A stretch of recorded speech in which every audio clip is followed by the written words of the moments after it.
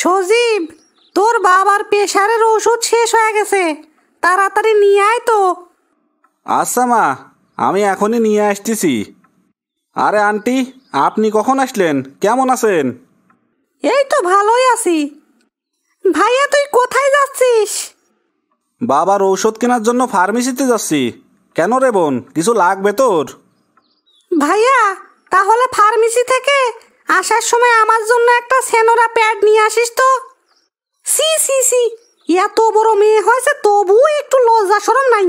নিজের ভাইকে বলে এইসব পচা জিনিস আনতি। আচ্ছা আন্টি আপনার যখন সন্তান হয়েছিল সেই কথাটা কি আপনি আপনার ভাইকে বলতে লজ্জা পাইছিলেন? আমার সন্তান হয়েছে সেটা আমার ভাইকে বলতে লজ্জা পাবো কেন? সন্তান হওয়া তো আনন্দের ব্যাপার। আন্টি সন্তান হওয়াটা যেরকম আনন্দের ব্যাপার এই পিরিয়ড হওয়াটাও আনন্দের ব্যাপারই এটা আনন্দের পূর্ব লক্ষণ। একজন মেয়েকে সন্তান সম্ভাবনা হতে সাহায্য করে এই পিরিয়ড প্রক্রিয়া।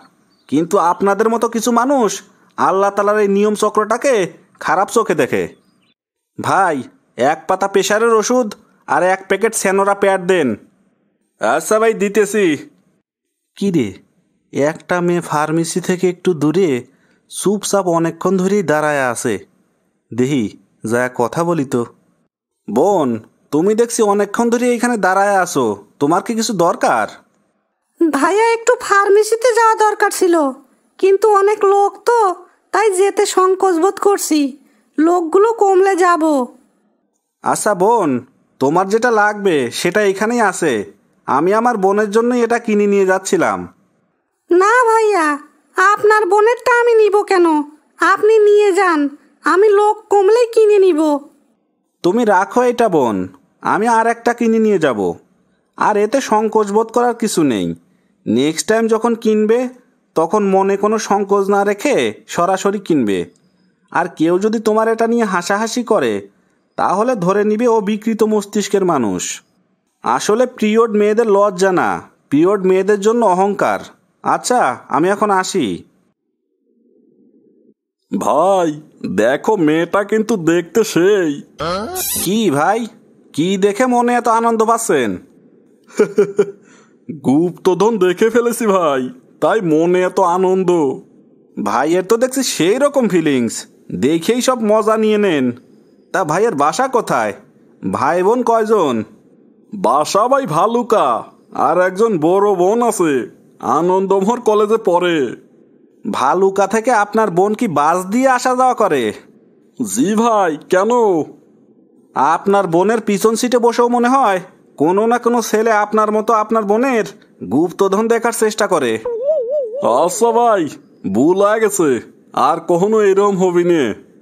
আর বোন আপনাকেও বলি বাস ট্রেনে চলাচল করার সময় ভালো কাপড় পরে চলাফেরা করবেন যাতে কারও কুনজর আপনার দিকে না পড়ে।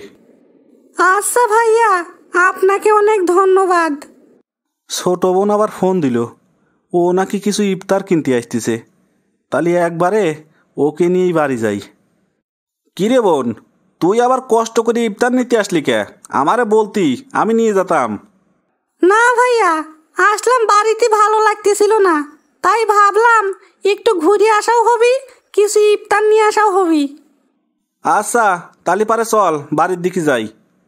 ভাইয়া, কয়েকটা প্যারাসিটামল নিয়ে নে তো। আচ্ছা নিচ্ছি, চল। ভাই, এক পাতা প্যারাসিটামল দেন তো। দিচ্ছি, ভাই।